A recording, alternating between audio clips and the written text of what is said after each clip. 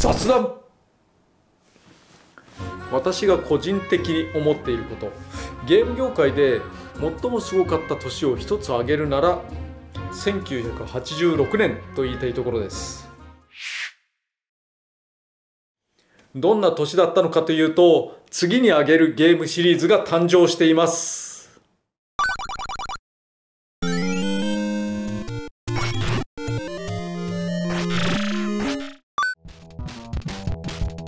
てこの野郎。おりゃ。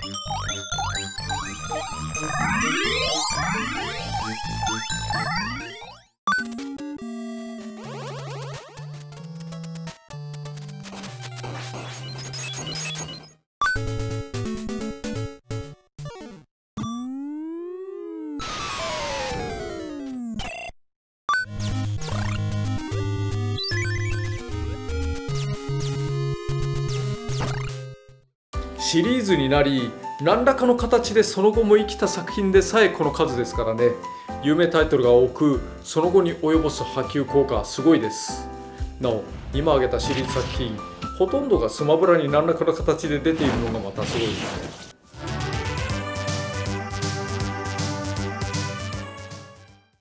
なぜこのようなラッシュになったのかを1986年に登場したその他の作品を見ながら考えていきたいと思います。まずディスクシステムが発売されました。それによりゲームの容量は当時としては飛躍的に大きくなります。さらにいわゆるメガロムが登場します。これまた容量をガツンと上げたためできることが増えました。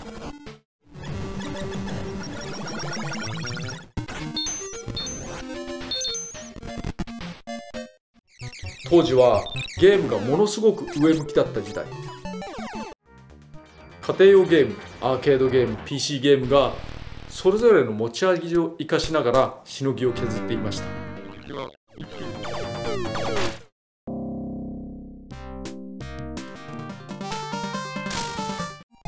ハードの進歩もソフトの進歩も目覚ましいものがありました。どんどんすごくなっていくものに対して人が惹かれるのは必然ですね。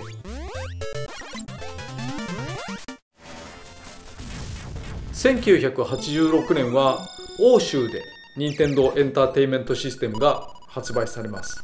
これは海外のファミコンです。北米発売は前日1985年。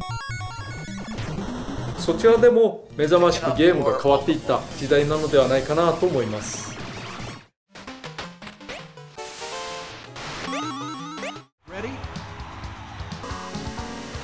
日本では隠れキャラや裏技が流行し未知の情報に対する驚きや喜びが高くなっていた時代とも言えます。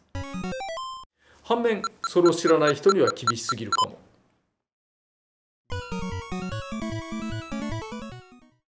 ゲームの膨大化高難易度化などもあり厳しく感じるところもあったこともリアルタイム世代として述べておきます。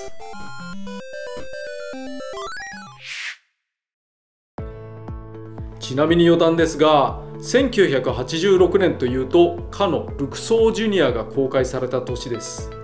エンターテインメントとしての CG の幕開けですね。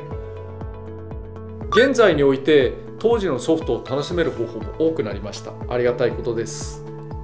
先達が切り開いた道の延長線上に我々がいます。新しい道を作っていくべく頑張っていきたいところですね。